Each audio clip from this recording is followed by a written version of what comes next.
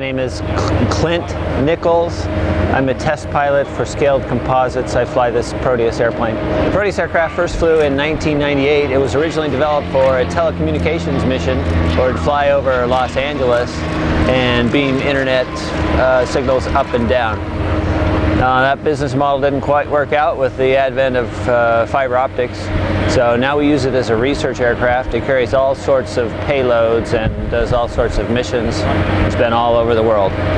What makes this aircraft unique is uh, obviously the kind of interesting configuration when it's got a, a, wing in the back and a canard in the front. And then as you can see, there's a pylon hanging down from the center where we can attach all sorts of pods and payloads and things.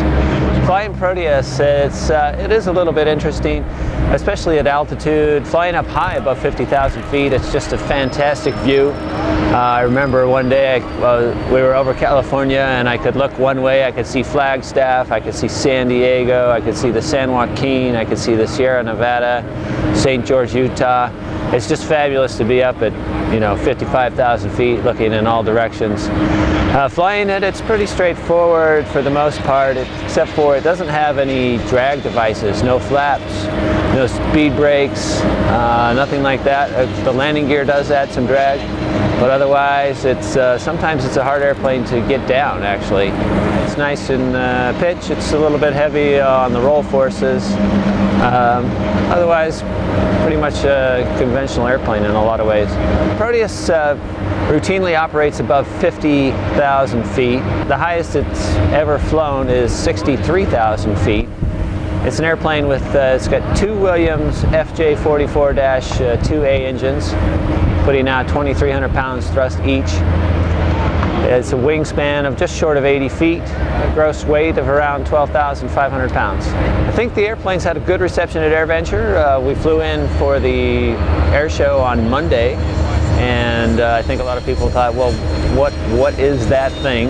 No one's ever seen it before. Of course, it looks like a cross between a, an alien spaceship and a praying mantis, so it does get a little bit of attention and looks a little bit different when it flies.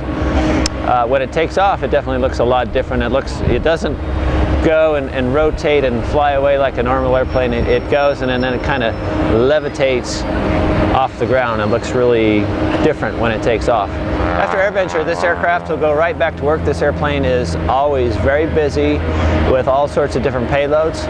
We'll put, uh, we'll go home, we'll put a, a, pod on the bottom, we'll carry some uh, equipment and do some work, uh, go some places uh, for, for a time and then uh, come back and uh, back to the home base in Mojave take that payload off, put another one on, integrate that, get that working, go out and test it, and the cycle will continue. It's always a busy airplane doing a lot of different things, going a lot of different places.